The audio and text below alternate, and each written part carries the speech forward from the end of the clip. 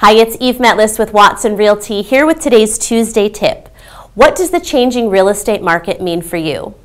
People have been asking me recently, what's going on with the real estate market now? Well, here's what's happening and what it means. We're experiencing a slight dip in home sales.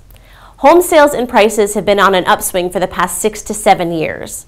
And as I'm sure you've heard, interest rates are going up and are expected to go up again soon the time it takes to sell a home, days on market, is going up as well.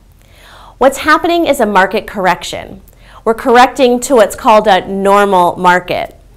As we go into this market correction, it's especially crucial that sellers have an aggressive and unique marketing plan implemented by their realtor.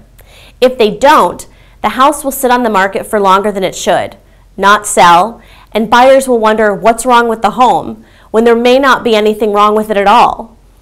When that happens, those homes end up selling for less than they should, if they do sell at all, because the marketing plan in place isn't enough to attract the right qualified buyer for that home.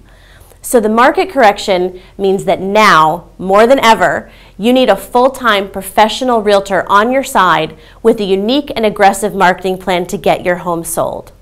That's today's Tuesday tip.